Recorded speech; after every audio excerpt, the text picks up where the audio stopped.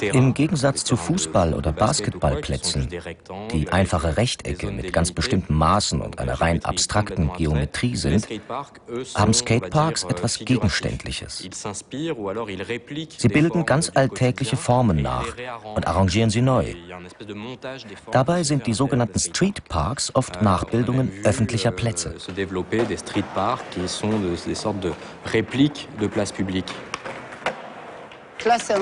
Dieser Bowl ähnelt einem chinesischen Bowl und müsste normalerweise drei Wellen haben.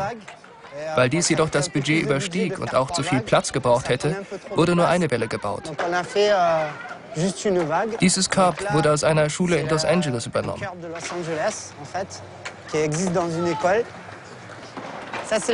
Das hier ist der klassische Teil, mit einem kurzen Geländer für die Anfänger und einem abschüssigen Gehsteig.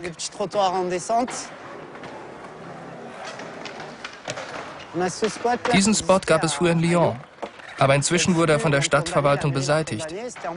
Das ist eine niedrige Mauer mit schrägen Seiten, die die Skater hinauf und wieder herunterfahren können. Das beherrschen hier selbst die kleineren. Beim Skaten kommt es nur darauf an, sich auf dem Brett zu halten. Die Position der Füße, Bremsen, Schwung nehmen, das ist alles nicht schwer. Man muss nur wissen, wie man die Füße setzt. Stellst du den Fuß zu weit nach vorn, fällst du vornüber. Ist der Fuß zu weit hinten, fällst du nach hinten. Dann kannst du dich nur wieder fangen, indem du dich mit der Hand abstützt. Und das führt nicht selten zu Brüchen. Ich habe viele Fehler gemacht, weil ich keine Lehrer hatte. Und das möchte ich den Kindern ersparen. Weit nach vorn. Sehr gut. Euh, es ist wichtig, dass Sie sich nicht für Stars halten. Ich mache Ihnen klar, dass es beim Skaten nicht in erster Linie um Sponsoren und Wettbewerbe geht. Beim Skaten lernt man, die eigenen Grenzen zu überwinden. Aber das eigentlich Wichtige ist der Spaß. Es ist toll, eine leere Straße entlang zu sausen. Das ist es, was Skaten für mich ausmacht.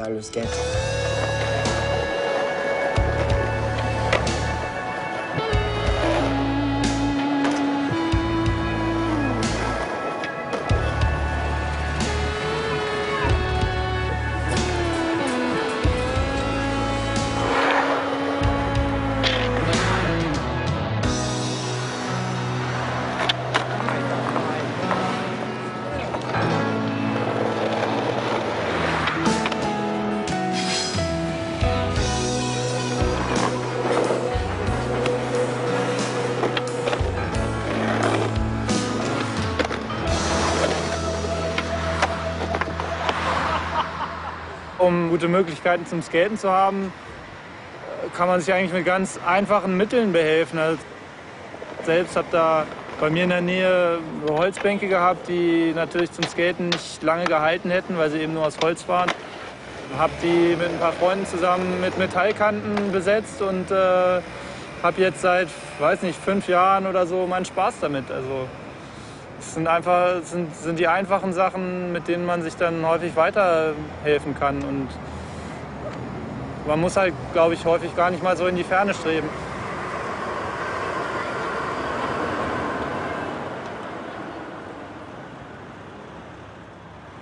Ja. Ja, er hat es erzählt. Ja, es ist ja zwei Die Situation in Berlin hat sich definitiv verändert und ähm, war vor zehn Jahren ganz ruhig und mittlerweile ähm, zieht es immer mehr Leute nach Berlin. Woran das jetzt genau liegt? Also ich glaube, das liegt nicht wirklich an den äh, Bedingungen, die Berlin zum Skateboardfahren bereitstellt. Ich glaube, das liegt eigentlich ähm, viel daran, dass Berlin einfach so ein interessanter Ort ist für junge Menschen und Skater sind junge Menschen.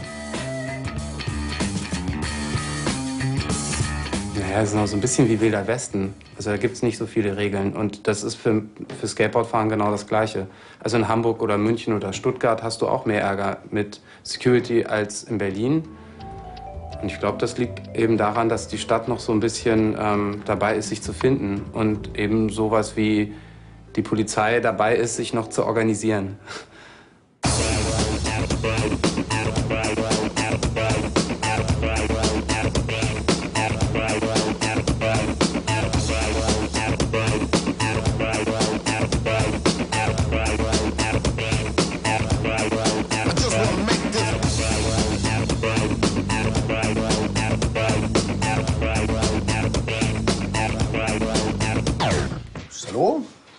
Bei Radio Skateboards in Berlin-Kreuzberg. Wir sind hier im Büro und im Lager und einem gleichzeitig. Ihr könnt direkt mal gucken. Hier geht's gleich los mit den ersten Boards. Heute frische T-Shirt-Lieferung bekommen. Die muss zum Drucken. Noch mehr Boards und noch mehr Boards, weil wir sind eine Skateboard-Firma. Deswegen haben wir viele Bretter am Start natürlich. Radio Skateboards, Anna noch? Gut, bitte, schönen Tag noch. Tschüss. Auch sehr beliebt, die Kartoffeln, Shining Teppich Designs und ab jetzt was Neues. Lenny, Klassiker, unser Pro. Hier gedeiht das Ganze, hier wird Radio Skateboards gemacht. T-Shirt-Designs entwickelt, Board-Designs entwickelt, die Webseite gefüttert, alles Mögliche. Was man halt so macht, wenn man eine Skateboard-Firma hat. Wir haben viele Pro-Skater, die extra nach Berlin gezogen sind und hier wohnen, skaten und auch filmen, Material sammeln und alles. Kreuzberg ist für mich oder für uns bei Radio einfach das, was es ist, ein Schmelztiegel aller Nationen, Leute aller Herkunft leben hier friedlich miteinander, ohne dass es äh, Stress gibt. Wir bleiben direkt hier in Berlin, weil Kreuzberg ist hier drin und Herz schlägt für Berlin, da kommen wir her, da wollen wir bleiben und sterben.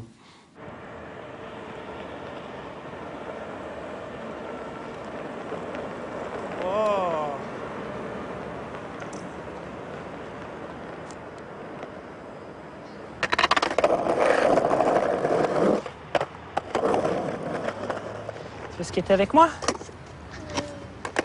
On va remettre le casque Vas-y. Moi, je te pousse Berlin hat eine ganz andere Architektur als Barcelona.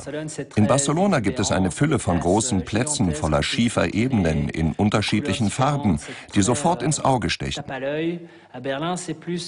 In Berlin dagegen muss man sich seine Spots suchen. Sie liegen nicht auf großen Plätzen, sondern eher hinter einem Gebäude oder in einem Park.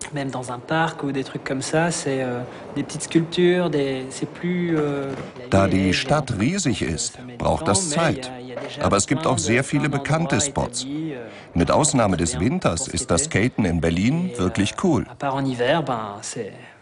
C'est vraiment cool le skate à Berlin.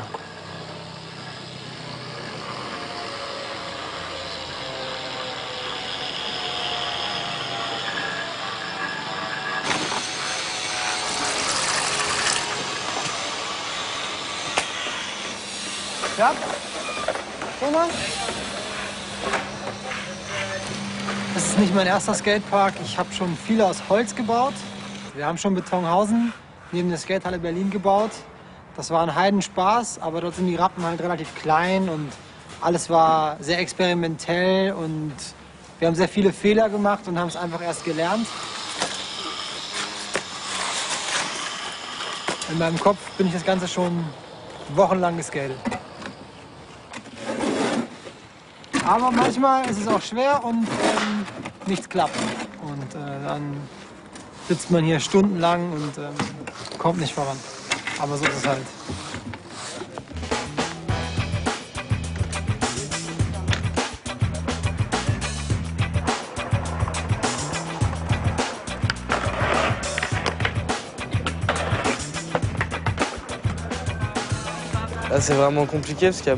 Heute ist es schwierig geworden, weil es hier viele Touristen und Tauben gibt. Das hängt von vielen Faktoren ab. Von der Polizei, vom Wetter. An manchen Tagen machen wir jede Menge Aufnahmen und an anderen gar keine. Es ist nicht leicht, Fotos zu machen, wenn die Leute nicht aufpassen, denn das kann unter Umständen gefährlich werden. Aber das gehört eben dazu. Wenn es immer nur einfach wäre, würde es ja langweilig. Et si c'était facile tout le temps, ça serait pas drôle, quoi.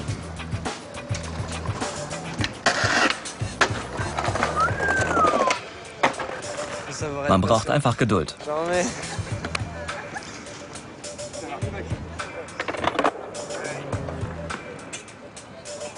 Wow. Yes.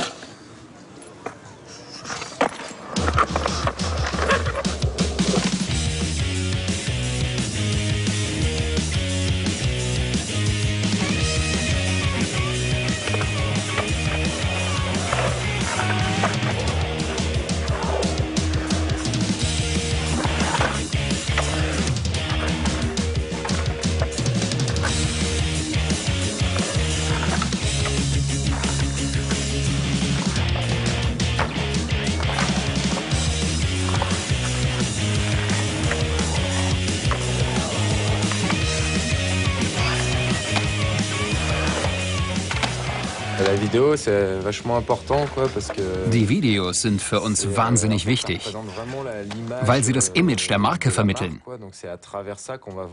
So können wir unsere lebendige, kreative Seite zeigen. Mit der Musik, den Bildern und den Tricks, die zeigen, wie gut unser Team skatet.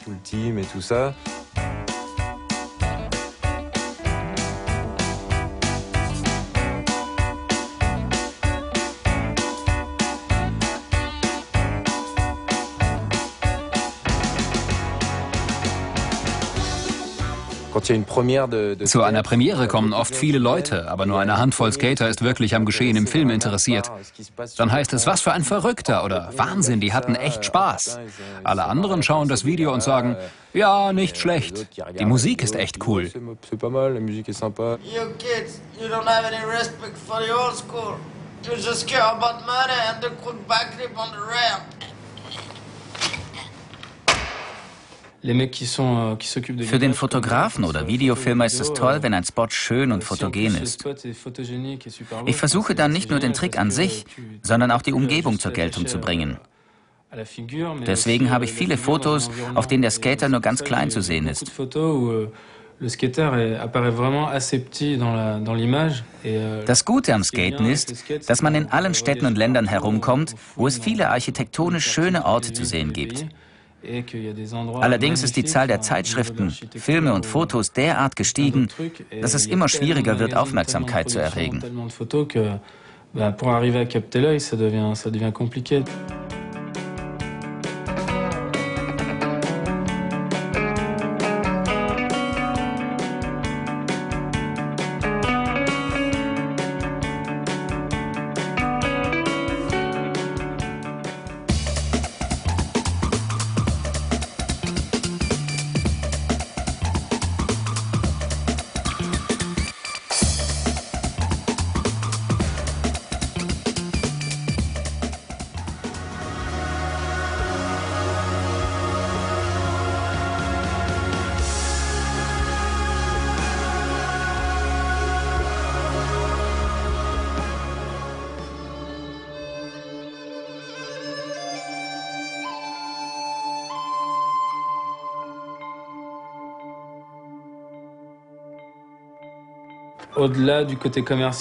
Abgesehen von der geschäftlichen Seite sollen alle Skaterprojekte vor allem den Spaß und die Leidenschaft vermitteln und den Leuten Lust machen, mit dem Skaten anzufangen. Als ich zum ersten Mal ein Skatervideo sah, hatte ich das Gefühl, unter Drogen zu stehen. Ich war auf Kokain, Amphetamin und Heroin, alles gleichzeitig. Nach dem Video ging ich raus und probierte 5000 Tricks in 30 Sekunden. Das hat in mir etwas total Verrücktes ausgelöst. Und ich denke, das ist auch der Grund, warum ich Videos drehen wollte. Ich war wie verzaubert oder ich weiß nicht.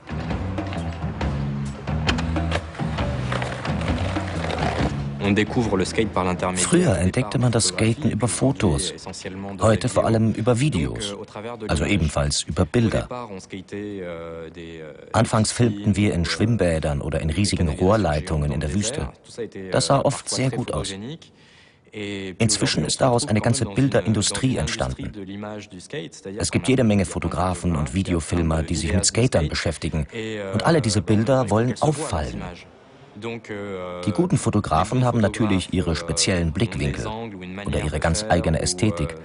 Aber auch die Auswahl des Spots wird heute nicht mehr allein vom Skater, sondern auch vom Fotografen getroffen.